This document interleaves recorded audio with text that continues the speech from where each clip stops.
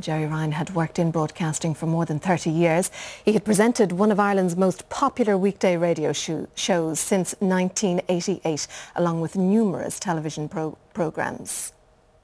Isn't that just absolutely very pretty, I have to oh, say. Oh, very handsome. That's what, 20 years ago? No, I'd say it's more than that. Is I'd it, say it's about 25 years ago, yeah. Gerry Ryan was born in Clontarf on Dublin's north side in 1956. He studied law at Trinity College and went on to work as an apprentice solicitor.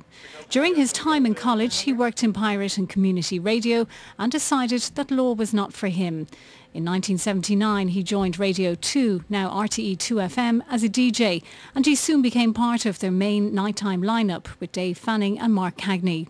Gerry Ryan from uh, Radio 2, are we right? OK, let's go, and we start now. Less than 10 years later, in 1988, his talent for talk radio led him to The Gerry Ryan Show.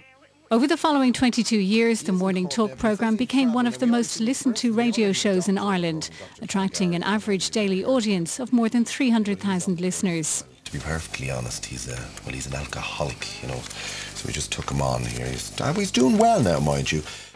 Gerry Ryan was renowned for his straight talking and sometimes controversial presentation manner. His show covered topics from everyday life to the taboo. During his career, Gerry Ryan also hosted a number of television shows, including Secrets, Gerry Ryan Tonight, Ryan Town, Gerry Ryan's Hit List, along with Operation Transformation. In 1994, he co-hosted the Eurovision Song Contest, where he introduced the first performance of Riverdance. And in 2008, he presented an edition of The Late Late Show. Welcoming you to the big one, The Late Late Show. RTE recently started a new series of Ryan Confidential, which was his own unique late-night chat show. Hello, is anybody in there? Gerry Ryan is survived by his wife Maura, from whom he was separated, and his five children.